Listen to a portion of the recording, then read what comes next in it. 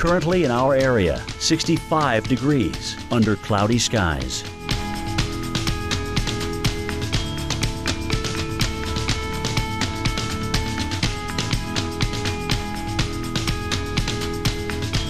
Tonight, skies clearing overnight. Low 55. Winds north northwest at 10 to 15 miles per hour.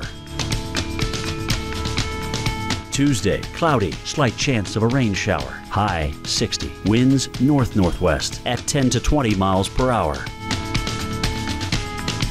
Tuesday night, a few clouds. Low 41. Winds north at 10 to 15 miles per hour. Here's our seven day outlook.